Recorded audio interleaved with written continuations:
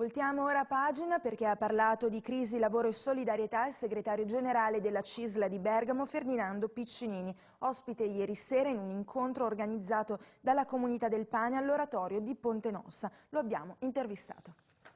Questa crisi ha accelerato i processi di cambiamento che già erano in corso da alcuni anni.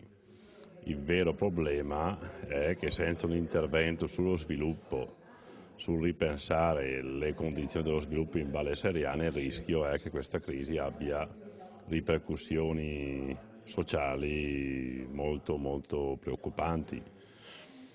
Tenga presente che a rischio dei posti di lavoro per il solo settore meccano-tessile in Valle Seriana sono 4.000.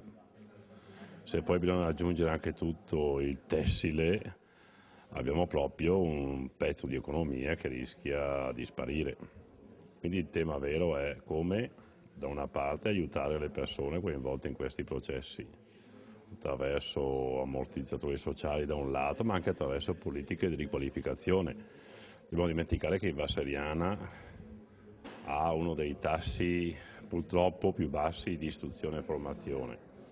C'è un problema soprattutto di, di lavoro femminile e quindi occorre fare un'intensa azione di riqualificazione e soprattutto dare l'opportunità di avere nuove prospettive. Dall'altro occorre però lavorare adesso sullo sviluppo, su quali sono fattori di innovazione per rilanciare l'economia della valle. Senza questo il rischio di uno graduale spostamento dello sviluppo economico anche in provincia di Bergamo più sulla pianura che sulle valli. Quindi eh, il rischio vero è quello di uno spostamento anche della popolazione.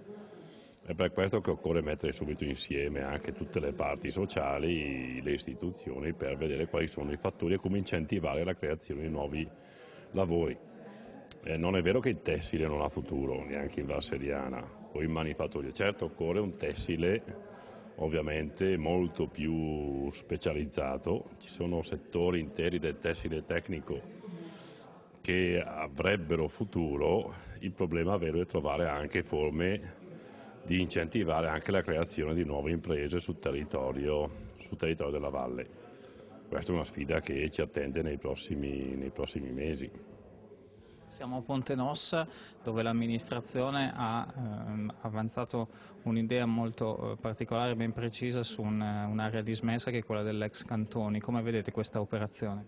Noi vediamo con interesse anche, abbiamo appoggiato anche l'azione del sindaco Capelli per, eh, che l'area, un'area storica importante come l'area la, dell'ex Cantoni venga comunque salvaguardata come prospettiva manifatturiera. Il problema della Val Seriana è il problema anche di tutte le rilevanti aree dismesse che ci sono, che dovrebbero essere riutilizzate in funzione appunto di una nuova industria, un nuovo terziario molto più innovativo.